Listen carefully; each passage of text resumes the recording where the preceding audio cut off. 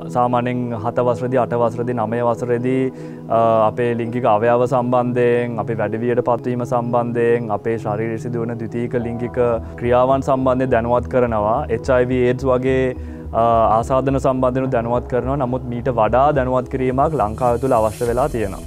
අයිබෝවන් මගේ නම දක්ෂිත වික්‍රම රත්න මම ශ්‍රී ලංකා පවල් සංවිධාන සංගමයේ අධ්‍යක්ෂක මණ්ඩලේ සාමාජිකයෙක් විදිහට තමා සම්බද්ධ වෙන්නේ. පරිපූර්ණ ලිංකික අධ්‍යාපනය වැදගත් වෙන්නේ ඇයි කියලා කතාකරොත් විශේෂයෙන්ම අඩුවයස් ගැබ් ගැනීම් ලංකාවේ ජාතික මට්ටමේ අඩුවගයක් තිබ්බත් අපි විවිධ පලාත්වලට ගිහාම සියට අටක් සියට නමයක් දක්වා වැඩිවීමක් තියෙනවා.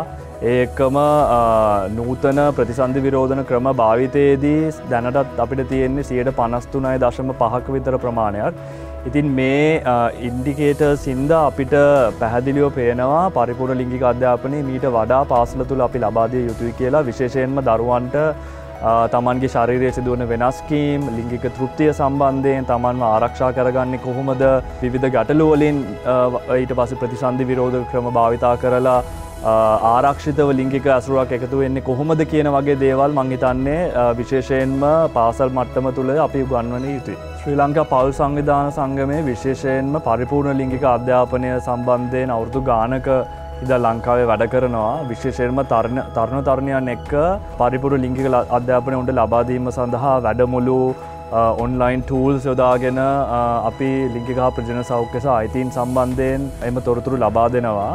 ඊට අමතරව විශේෂයෙන්ම ගුරුවරුන් පුහුණු කිරීම ඊට අමතරව සහෘද්ධ සන්නිවේදකයන් පුහුණු කිරීම වගේ වැඩසටන් හරහා අධිවාසන ක්‍රියාමාර්ග හරහා අධ්‍යාපන දෙපාර්තමේන්තුව එකත් එකතු වෙලා වැඩ කරනවා පාසලේ තියෙන පරිපූර්ණ ලිංගික අධ්‍යාපනය කරකිවුලම එක වෙනස් කරන්න.